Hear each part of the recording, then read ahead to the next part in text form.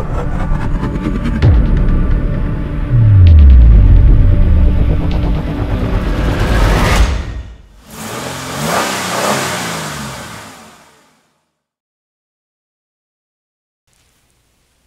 everyone, I'm John Palumba and welcome to this edition of ebm-papst RPM. I'm here changing out some old incandescent light bulbs for some high efficiency LED light bulbs. We at ebm-papst believe it's important to do our part to conserve energy, plus we like the added effect on our wallet. And while it's important to make these simple changes, lighting only accounts for 9% of the average household's electric bill. Air conditioning's double that at 18%. And in fact, globally, electric motors make up 45% of the worldwide energy usage. So the question is, is there an LED option for electric motors? The answer is EC. So what is an EC motor? EC stands for electronically commutated, which means instead of using the frequency of the AC power to make the motor spin, there are onboard electronics that make the motor rotate. It is a brushless DC motor. The EC external rotor motor is made up of five key parts.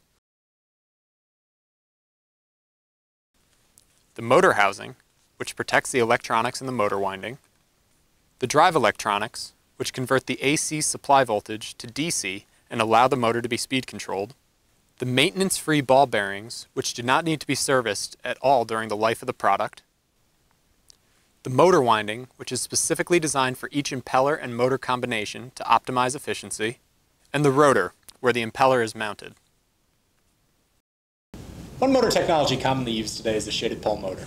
Shaded pole motor is kind of like the incandescent light bulb of the motor community. I'm here with Marco Latina, and he's going to explain to us some advantages of an EC motor over a shaded pole motor. So, Marco, what do we have here?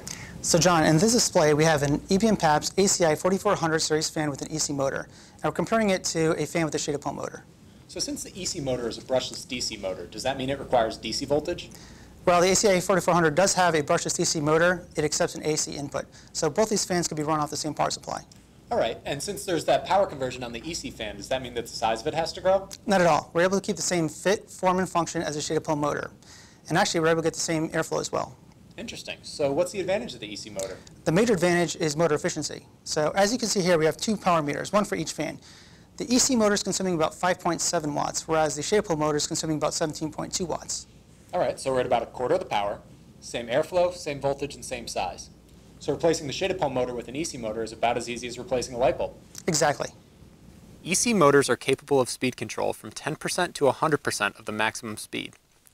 Since the power required by a fan has a cubic relationship to the speed the fan is running, there are substantial savings available by speed controlling a fan down. If multiple fans are running in parallel, there are huge savings from speed controlling the fans instead of using on-off operation. Now we have upgraded our AC motor to a permanent split capacitor, or PSC AC motor. This is similar to upgrading to a fluorescent light bulb. We have a bank of two AC fans on the right and two EC fans on the left. If we want 50% of the airflow with these fans, there are two ways to accomplish it. We could turn one fan off, or we could speed control both fans to 50% speed. The EC motor has speed control built in, while the AC motor would need an external device that's inefficient and could cause the motor to overheat.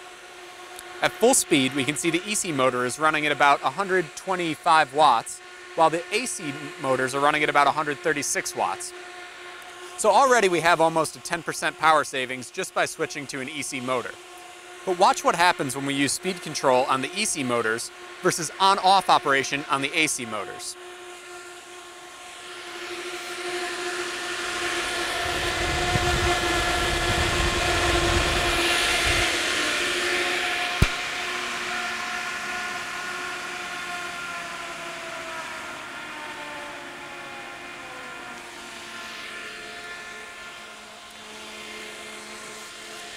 So now both banks of fans are running at 50% airflow, but you can see on the left the EC motors are running at less than half of the power that the AC motors are running at the right. And once again, plug-in replacement when it comes to mounting and wiring. So if you're looking for a good way to go green and save a bunch of green, the answer is EC. I'm John Palumba, and thanks for watching this edition of ebm-papst RPM. If you're looking for more information on EC technology, stay tuned after the credits for our contact information.